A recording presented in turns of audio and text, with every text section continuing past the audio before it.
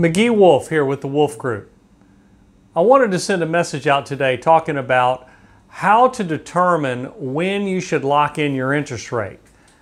We are at an amazing time in the mortgage industry with interest rates never having been lower in the history of interest rates. So there are many people that are refinancing their homes, uh, many people purchasing homes, and it's really an exciting time uh, to where you can uh, manage your, your home finances uh, and the, the mortgage in particular uh, extremely aggressively. So it's an important question. When should you lock in your interest rate? And I'll be the first to tell you that uh, if anyone has this down to an, a science, they are multi, multi billionaires because no one can accurately predict the market consistently over time. However, there are some um, elements to it that make it somewhat predictable. But uh, nevertheless, the biggest component that are, or the biggest message I'd like to get across is uh, over the years I have found that uh, it's a pretty emotional thing for many people. And the, the, the emotion that is associated with the joy of getting a lower interest rate really pales in comparison to the angst or agony, so to speak, of getting a higher interest rate if someone waits to lock in. But nevertheless, let's take a look at uh, the market as it's been for the last several months to help maybe explain a little bit more of the nuance of how we do what we do. So let's take a look at the graph.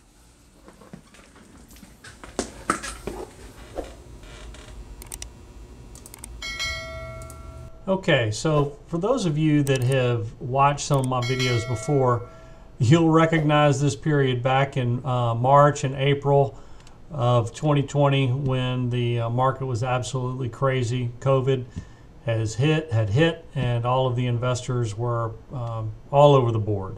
And the Fed was inter interjecting, trying to uh, calm the market, which they effectively did. Look here through April, May, June, and July, and August the market's been stable. But right here, in the beginning of July, interest rates began to go down even further. And we are in a remarkable time right now of, of very low interest rates. They've never been this low. And uh, green is a good thing, where in this curve that's moving in an upward direction means that rates are going down. So when you ask yourself, at what point should we try to apply historical um, references to determine when we should lock the interest rate? Well, if you look at this top line right here, this is a resistance band, and we have really come right up against it right here on Thursday the market opened on Friday, uh, August the 7th, and uh, the market lost a little ground. So, in my opinion, that, um, you know, this happens a lot when you go right up against those resistance bands. Um, in fact, the resistance used to be right here, and we busted through it. And I was watching it really carefully, and then the market began to turn a little bit. And right here on Friday, we lost a little ground, as I said. So um, this may be a good indication that it's time to uh, go ahead and lock that those interest rates in uh, right here. But as soon as uh, I say that, Monday morning, they may go even lower still. So uh, everybody's in a total win situation here. If you if you've locked anywhere in this band, of time or this you know this three two or three weeks right here uh, you have uh, done very very well and i applaud you.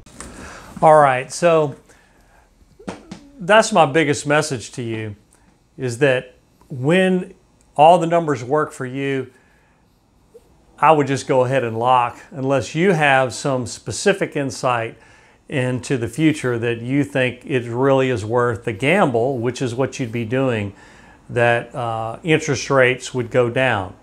And if they do go up, you have to be comfortable with that reality if it becomes a reality. But uh, I hope this video made uh, a little bit of sense to you and it was helpful.